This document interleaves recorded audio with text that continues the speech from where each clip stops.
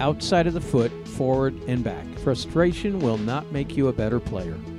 This goes for all areas of your training when you cannot seem to perform a skill. Try and try again with a positive attitude. Eventually, you will master whichever skill you're practicing. The key is never giving up.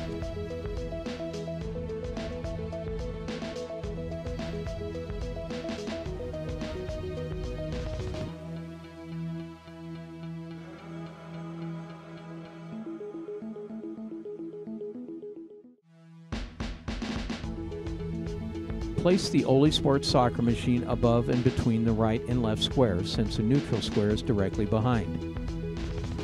The ball needs to be set inside the ladder.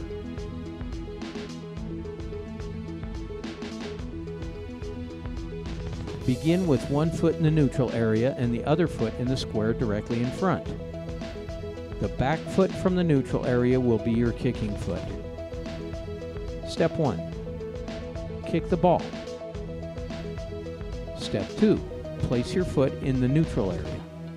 Step 3. Move your front balance foot back to the neutral area next to your other foot. Step 4. With the foot that has been in the neutral area the longest, step forward in the front square. Repeat the move.